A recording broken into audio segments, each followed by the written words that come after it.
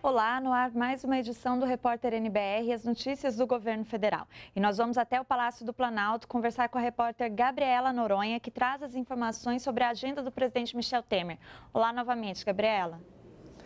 Olá, Carol. Olha, a agenda do presidente Michel Temer foi atualizada e ele terá uma reunião com o presidente da Petrobras, Pedro Parente, às 11 horas, aqui no Palácio do Planalto. Recentemente, a Petrobras anunciou investimentos de mais de 74 bilhões de reais que serão aplicados até 2022. A empresa espera investir mais e aumentar a produção de petróleo. Ainda sobre a agenda, Carol, o presidente também tem uma reunião às 15 horas com o ministro-chefe da Secretaria de Governo, Carlos Marum. Agora, mudando de assunto, a Venezuela decidiu expulsar o embaixador brasileiro Rui Pereira. Antes disso, quando o governo de Nicolás Maduro já tinha declarado que o embaixador brasileiro era persona non grata, o Itamaraty havia divulgado uma nota dizendo, abre aspas, a decisão demonstra, uma vez mais, o caráter autoritário da administração de Nicolás Maduro e sua falta de disposição para qualquer tipo de diálogo. O Brasil aplica, aplicará as medidas de reciprocidade correspondentes. Olha, Carol, é possível que ainda hoje o governo brasileiro divulgue uma nova nota sobre o assunto. Vamos ficar atentos. Volto com você no estúdio, Carol. Obrigada, Gabriela. Bom trabalho para você.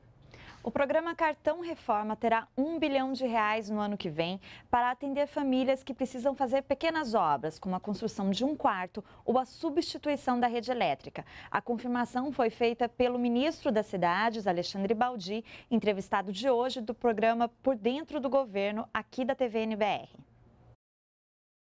Todos os municípios que estiverem com as condições regula regulamentares do programa Cartão Reforma estão aptos a participarem.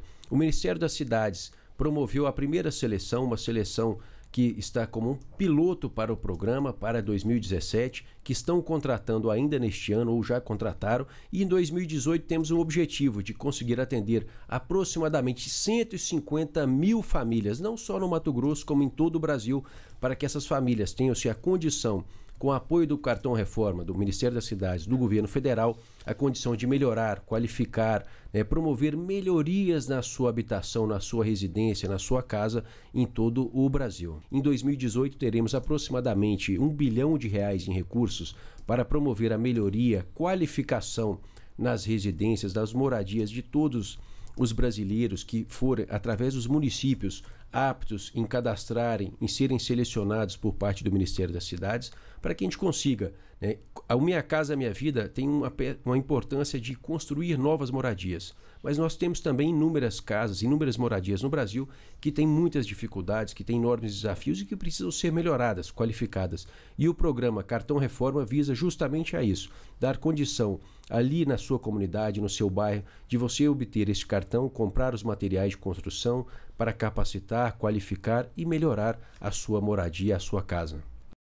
Ainda durante o programa Por Dentro do Governo, o ministro das Cidades fez um balanço de outras ações, como os investimentos em saneamento básico e também na área de habitação. Alexandre Baldi lembrou que o programa Minha Casa Minha Vida foi retomado este ano, especialmente na faixa das famílias de menor renda.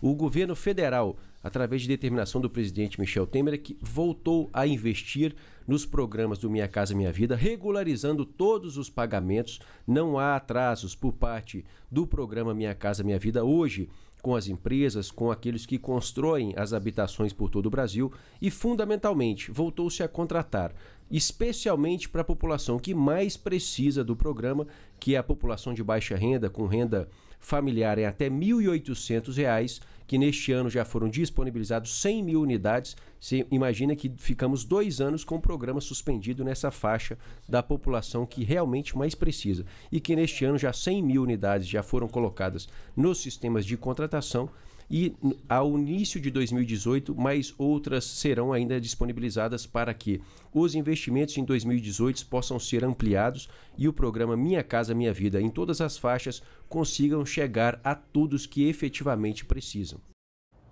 Quer ter a chance de poder pagar menos na conta de luz?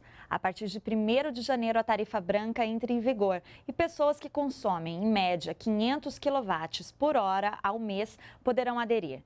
Os indicados para adesão são as pessoas que consomem menos energia no horário de pico, que vai das 6 horas da tarde às 9 da noite. A adesão será escalonada até chegar a toda a população em 2020. Secador de cabelo, chapinha, ar-condicionado, chuveiro elétrico e freezer. Com tantos equipamentos elétricos, a conta de luz nessa barbearia de Brasília chega a quase mil reais por mês.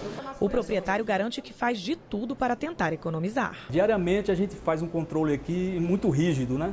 Em relação ao ar-condicionado, ao funcionamento de, de secador. A gente orienta bastante nossos profissionais aqui para economizar. A partir de janeiro de 2018, consumidores com perfil dessa barbearia vão poder reduzir a conta de luz. É a tarifa branca que garante tarifas bem menores para quem consome energia elétrica fora dos períodos de pico. Qualquer eletrodoméstico ajuda, né? tem aqueles que consomem mais. E aí não é não consumir, é consumir ao longo do dia e nos finais de semana, no horário que é, diferente desse horário que nós chamamos de ponta. A tarifa branca, o período mais caro vai das 6 da tarde às 9 da noite. O período intermediário vai de 5 da tarde até às 6 e das 9 da noite até às 10. Fora desses horários, a tarifa de energia elétrica vai ser mais barata. Feriados e finais de semana, o preço também cai para qualquer horário.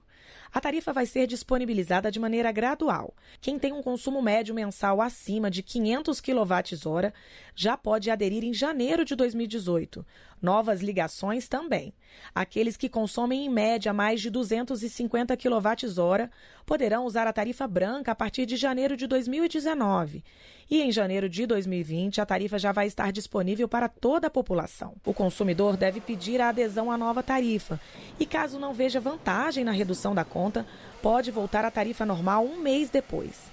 A medida é uma alternativa para os consumidores reduzirem o gasto com energia elétrica, o que também favorece o sistema. Se você dilui esse horário, você acaba tendo uma necessidade de sistema menor, portanto, menos investimento, portanto, mais vantajoso para o sistema brasileiro e para a sustentabilidade de um modo geral. E o José Eriston já está contando os dias para aderir à nova tarifa. Tudo que vem para que dá retorno para o empresário, eu acho que é importante. Eu acho que deixa a gente até mais. É, faz com que a gente ainda fique mais atento para isso, porque a gente vai ver o resultado, né? Nós ficamos por aqui. Continue com a gente na NBR, a TV do Governo Federal.